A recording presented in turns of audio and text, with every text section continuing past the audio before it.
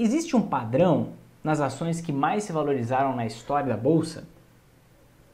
Sim, existe. É aí que eu vou entrar te mostrando agora um artigo publicado no ano passado, tá? Focado que em resultado, que mostrou dados muito interessantes. Nesse trabalho, ela buscou identificar o resultado de uma combinação de investimentos de investimentos da Bolsa Brasileira e analisou os resultados de 2012 a 2019. Eles pegaram três indicadores para analisar qual era o resultado das ações de 2012 a 2019 que tinham esses indicadores com o menor número, certo? Esses indicadores com os menores valores. Basicamente, o que Alexia Pimentel fez foi pegar e analisar o resultado das ações com menores PL, das ações com os menores PVP, com os menores EV/EBIT, certo? Identificar como que essas ações se comportavam, certo? Qual rentabilidade essas ações tinham? Por quê? Para ela conseguir identificar se analisando esses indicadores, esses fatores aqui, ela conseguiria ver uma performance melhor nessas ações ela conseguiria ver uma rentabilidade maior nessas ações. E quando a gente vai olhar os resultados, a gente vê o seguinte: olha só, o que a gente está olhando aqui nessa tabela que resume o resultado do estudo da Alexia Pimentel.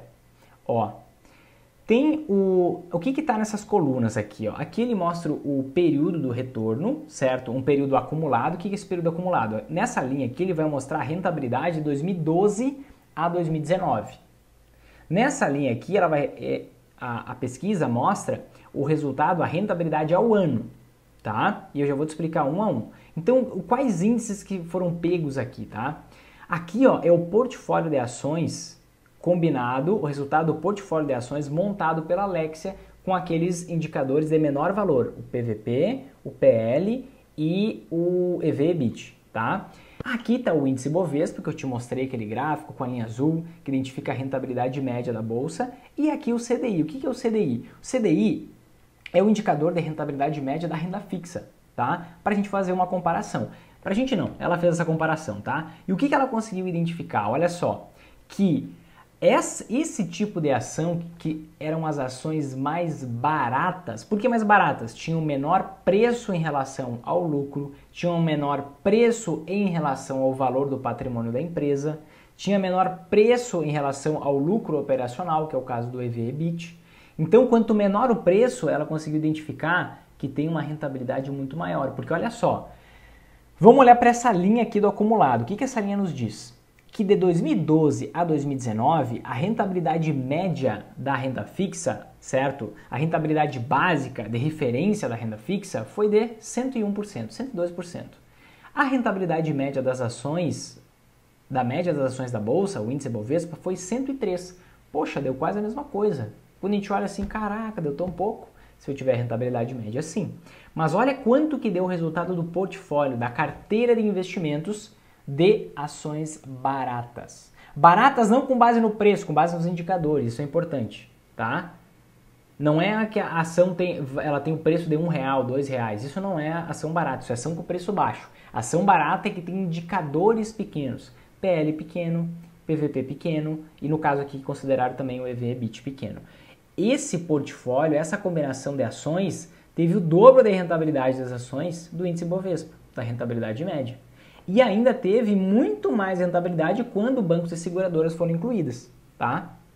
Quando a gente olha aqui o dado anualizado, a gente percebe que a rentabilidade anual do CDI, da renda fixa, que na época era bem maior do que hoje, né? Foi de 9,5%. Do índice Bovespa, da média das ações, 9,6%. Mas do portfólio da combinação de investimentos, excluindo o setor financeiro, 15,5% ao ano. Considerando o setor financeiro, 18,5 ao ano. Então a gente vê claramente uma supremacia, uma valorização maior das empresas que têm ações baratas, certo?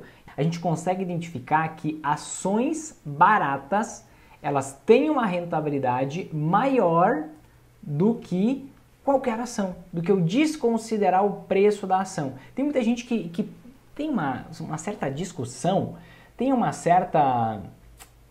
É, uma discussão, um debate. Será que preço importa na hora de investir em ações? Aqui está a prova. Será que vale a pena pagar barato ou vou pagar qualquer preço desde que a empresa dê lucro? Não. Aqui é a prova de que o preço sim importa e dá uma boa valorização adicional. Olha só o que aconteceu nos Estados Unidos. Essa imagem aqui que está do meu lado nada mais é que a, a rentabilidade das ações do índice S&P 500 de 1957 a 2012. Essa imagem aqui eu retirei ela do livro do Jeremy Siegel, que é Investindo em Ações no Longo Prazo, tá? E o que, que ele fez, né? Ele fez um estudo para identificar isso, se faria sentido investir em ações baratas. E, e aí o que, qual indicador ele pegou? O indicador que ele pegou é esse tal de PE. O que, que é PE? É Price Earnings. O que, que é Price Earnings? É a mesma coisa que o nosso PL, só que é em inglês, tá? Preço sobre o lucro é Price Earnings. E ele separou esse índice S&P 500, que é um índice com as 500 maiores empresas da bolsa americana, tá? dessa bolsa de valores americana, e ele separou em cinco grupos. A gente pode ver aqui nessa tabela, né?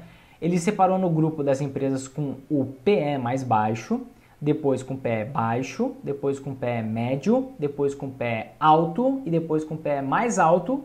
Pegou o resultado de tudo isso e ainda comparou com a média das ações. Então, esse S&P 500 para os Estados Unidos é o equivalente ao índice Bovespa para a gente aqui no Brasil, tá? E aí ele separou por faixas, os que tinham os menores PE, é, mais baixo, baixo, médio, alto, mais alto. E aí conseguiu se perceber o que?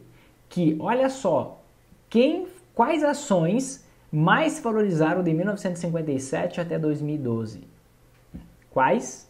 as ações que tinham o PE mais baixo, que tinham menor preço em relação ao lucro, certo? Depois veio a média das ações e aquelas empresas com o mais alto índice de PE, de preço sobre lucro, foram as que menos se valorizaram no longo prazo. Enquanto isso, a gente vê várias ações na bolsa com esses indicadores lá no teto, empresas muitas vezes da tecnologia, muitas vezes empresa em que, empresas em que se tem um, uma alta expectativa de que vão continuar dando muito, muito, muito lucro, só que isso não é certo, né? Isso não é certo. Quando eu invisto em, em ações baratas, eu estou pagando barato por algo que dá resultado. Quando eu invisto em ações com esse tal de PE ou PL aqui no Brasil alto, eu estou pagando um preço muito alto por um lucro que nem veio. Eu tô, tenho uma expectativa muito grande de que venha um super lucro, por isso eu pago muito mais caro. Só que muitas vezes essas expectativas frustram, né? E aí a rentabilidade naturalmente vai ser menor.